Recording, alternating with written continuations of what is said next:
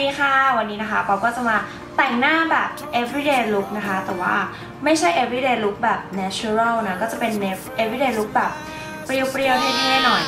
เดี๋ยวเรามาเริ่มกันเลยนะคะ วันนี้ป๊อปจะขอเริ่มจากการใช้กระดาษซับมันก่อนนะ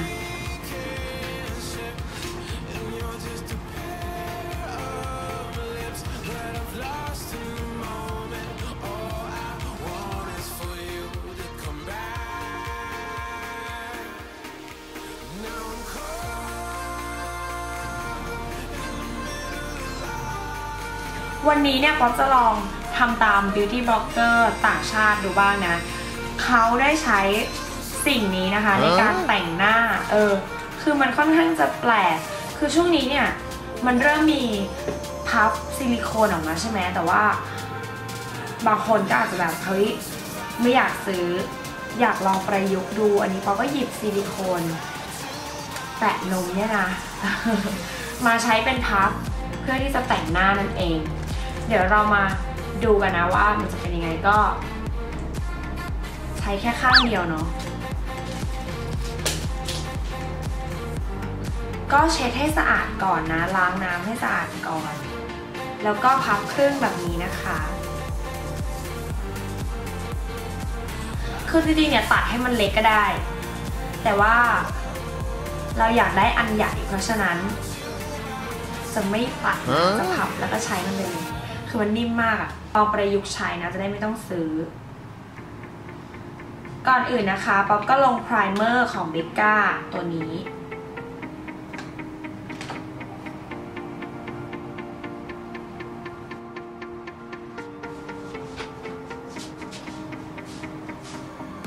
วันนี้นะคะป๊อปก็จะลองใช้รองพื้นเอสเต้นั่นเอง ซึ่งมันค่อนข้างจะลงยากก็จะมาลองดูกับซิลิโคนนะว่ามันจะ work หรือเปล่า มาเริ่มกันเลยนะคะ So I can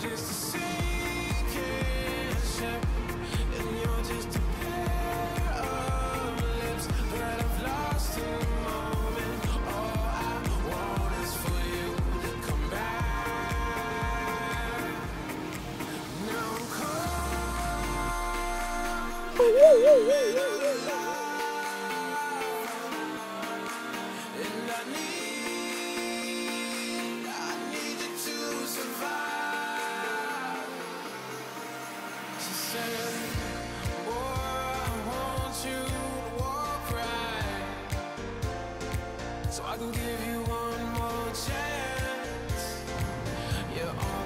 เสร็จแล้วนะคะก็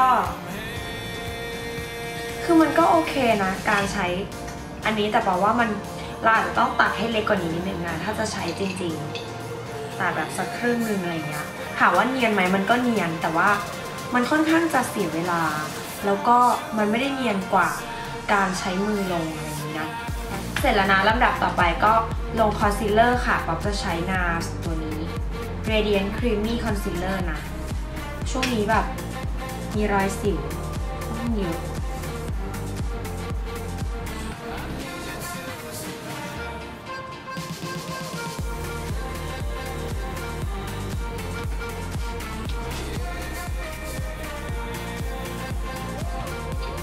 ต่อมาค่ะก็มาคอนทัวร์กันนะ ลุคนี้ก็จะพยายามประยุกต์ใช้ที่สุดก็จะใช้ลิปสติกค่ะ ของ Fairy นะ Fanatic แพคเกจจิ้งแบบสวยงามแบบนี้นะคะป๊อปใช้เบอร์ 12 นะ สีบอสตัน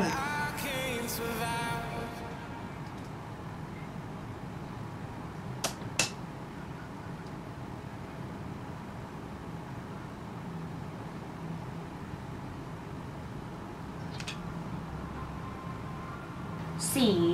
เวนิสนะคะ เบอร์ 34 มาเป็น blush on นะวันนี้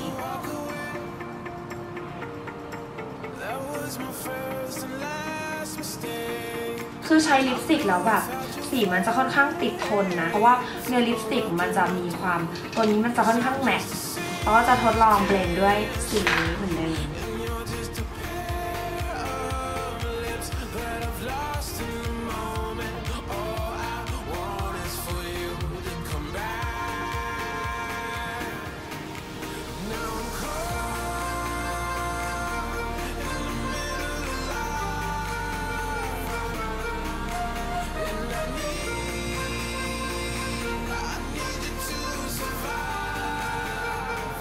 เฮ้ยแต่มันเกลี่ย มันเกลี่ยพวกครีมครีมบัชได้ดีมากเลย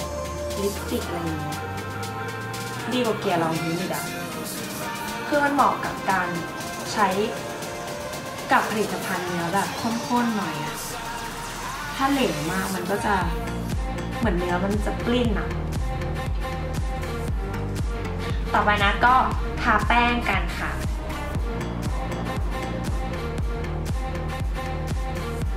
มาค่ะก็เขียนคิ้วนะป๊อปก็ใช้ของแฟรี่นั่นเอง เบอร์ 02 เป็นสีเรดบราวน์นะ เขาจะมาคู่กับแรงหน้าตาแบบนี้ เขียนได้คมแล้วก็มีหัวแบบนี้มานะคะ สามารถทำเป็นมัสคาร่าคิ้วก็ได้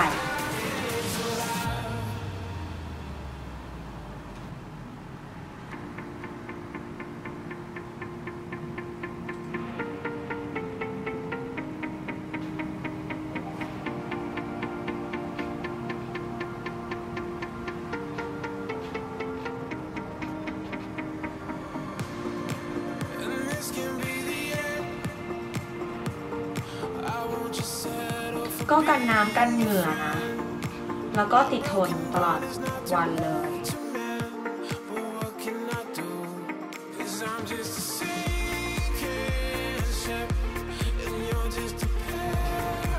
เขียนคิ้วเสร็จแล้วนะคะ ก็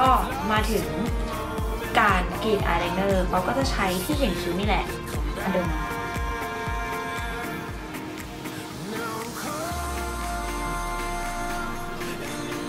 อยากได้เส้นที่ไม่คมมากนะ ออกแบบฟุ้งๆ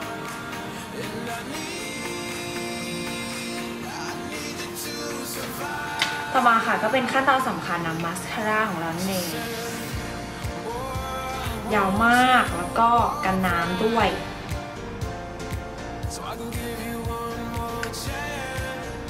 หัวแปรงเขาจะเป็นอย่างนี้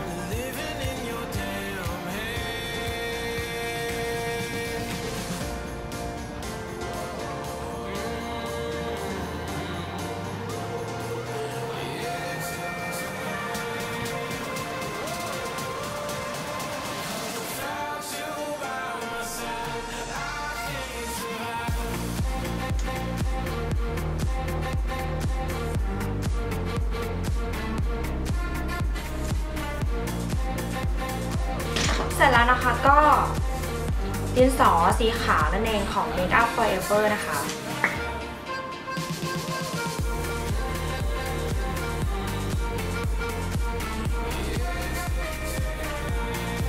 ตาจะดูโตขึ้นเห็นปะ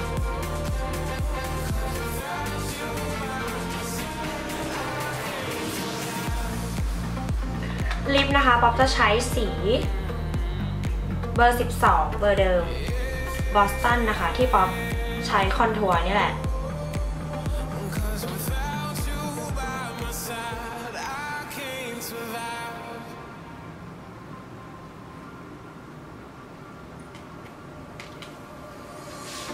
เขาเนื้อดีมาก แล้วสีเนี้ยใช้ contour ได้ด้วยเพราะว่าป๊อปใช้มาแล้วนะเนี่ย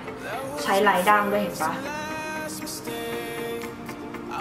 อายแชโดว์นะคะป๊อปจะใช้สีเวนิสนั่นเองที่ป๊อปใช้ลงตรงแก้มนะ จะมาลงตรงเปลือกตานิดนึง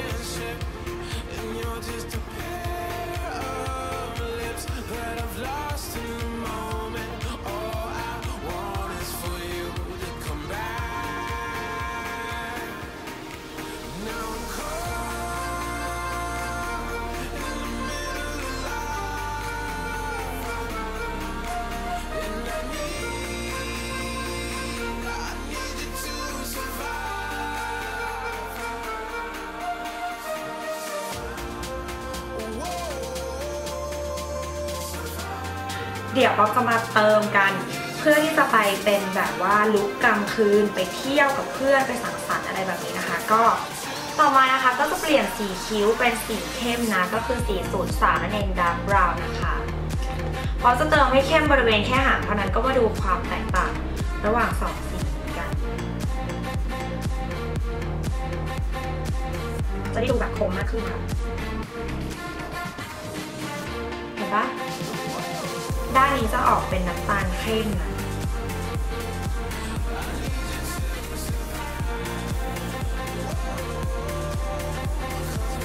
เหมาะกับคนสีผมเข้มหรือว่าใครที่สีไม่เข้มมากก็เอามาลงแค่ช่วงหางก็ได้ คิ้วมันจะดูแบบมีมิติมากขึ้น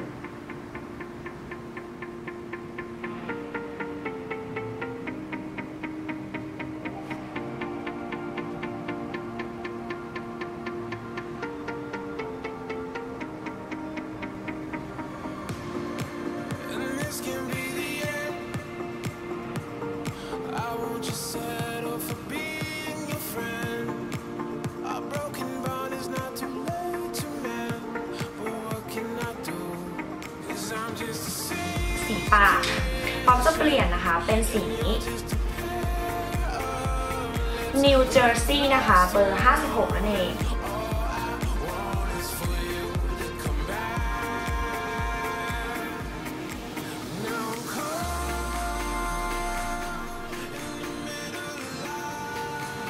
นี้นะคะ ก็จะได้ลุคที่แบบว่า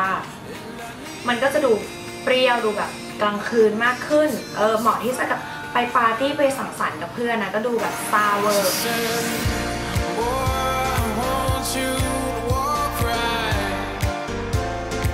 So I can give you one more chance.